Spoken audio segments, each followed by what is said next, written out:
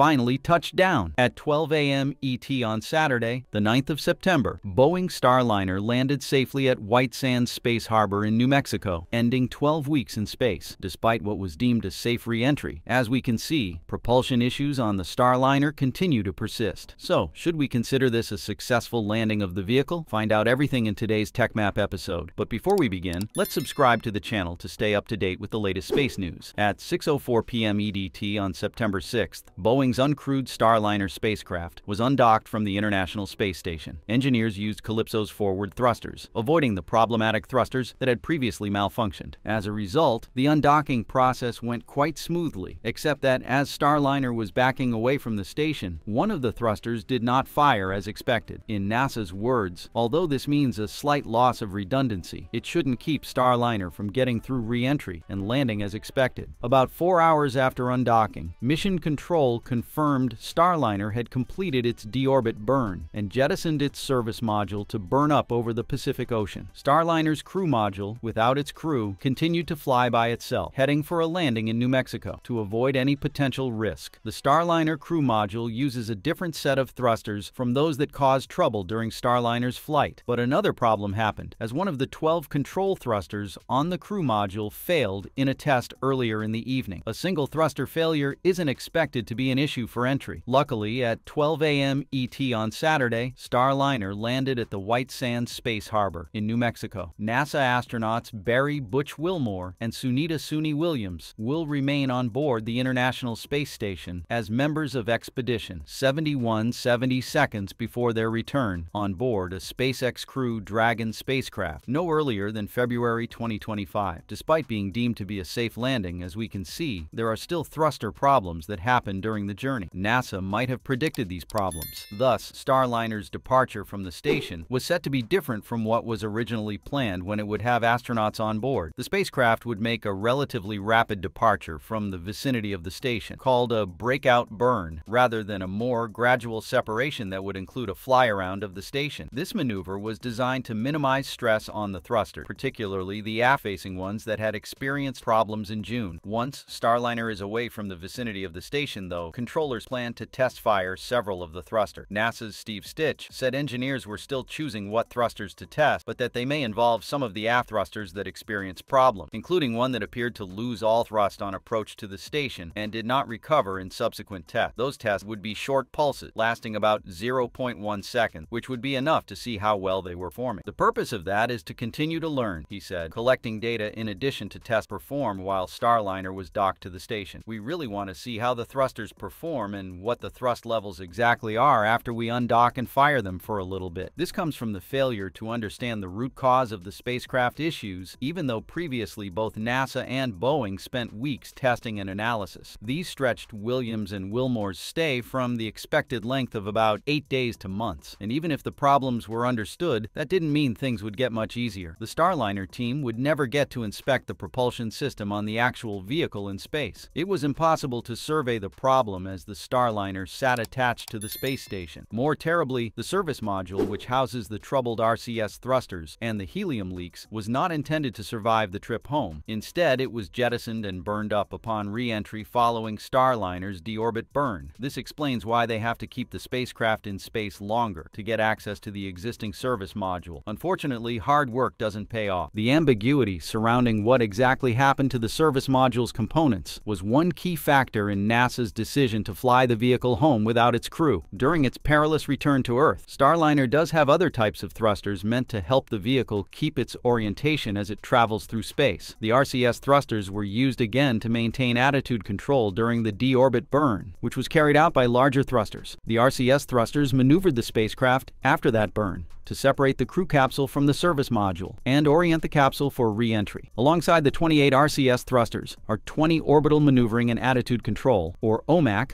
thrusters, each of which has about 17 times the thrust of an RCS thruster. But what if helium starts to leak in that case? NASA's Stich described how the problems already identified on the Starliner's service module might combine to create a disaster scenario. The worst case would be some integrated failure mechanism between the helium leaks and the RCS thruster, he said. For a nominal deorbit burn, we fire 10 OMAC thrusters in each of the four doghouse, and then the RCS jets are just there to hold the orientation. He added that if OMAC thrusters began failing because of helium leak, a bleak outcome could arise. Then you could end up with some cases that aren't easily controlled. And that's really the more stressing cases that the team is worried about. With Starliner safely back on Earth, NASA will now turn its attention to certifying the vehicle for crew rotation mission. It includes addressing the thruster problems as well as helium leaks. We've been entirely focused this summer on understanding what is happening on orbit, trying to decide if we could bring the crew back or not, Stich said.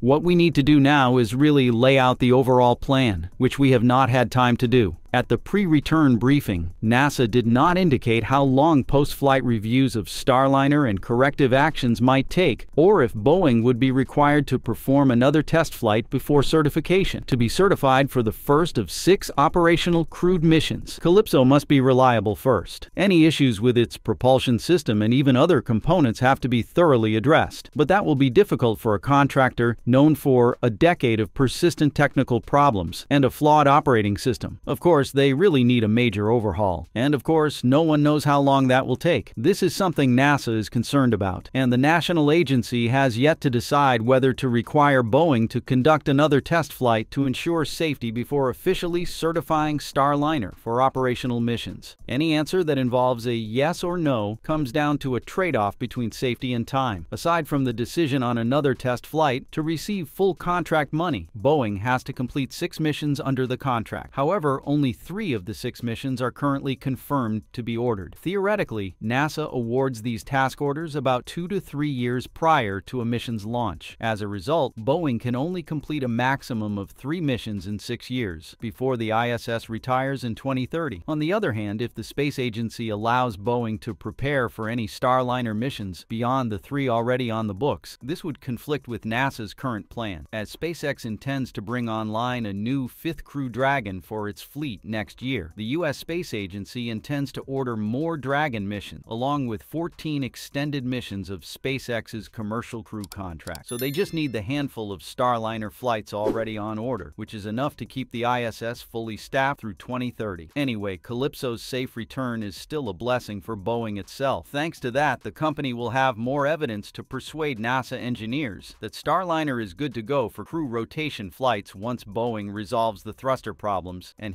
leaks. Continuing the Starliner program could help Boeing earn $1.9 billion in potential revenue from NASA. Of course, that $1.9 billion is of the $4.6 billion total potential value of its commercial crew contract. As you may know, NASA awarded the company an initial $4.2 billion contract in 2014, and contract modifications since 2014 have added $400 million to the deal. So far, $2.7 billion has been paid out, while $1.9 billion remains to cover future service payments for operating flights. The $1.9 billion figure year is still more than the $1.6 billion in losses the company has incurred on the program to date. And that just about wraps it up for today's episode. Thank you, and we look forward to seeing you next time.